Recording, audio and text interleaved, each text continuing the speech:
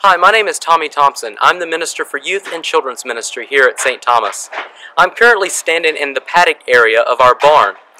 Here, when the weather is nice like it is today, we often hold our junior and senior high youth groups here, as well as events for our confirmation group, which are our eighth graders.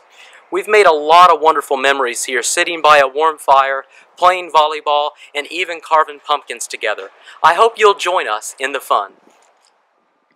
Not only are we blessed with beautiful grounds here at St. Thomas, but we have wonderful buildings as well. This is our newly renovated youth room with updated technology and a warm place for our gatherings. We hope you'll join us as we meet in here for both fun and fellowship. Not only are we blessed with beautiful grounds and wonderful buildings here at St. Thomas, but we're in the process of building a new learning center which will house much of our youth and children's ministries.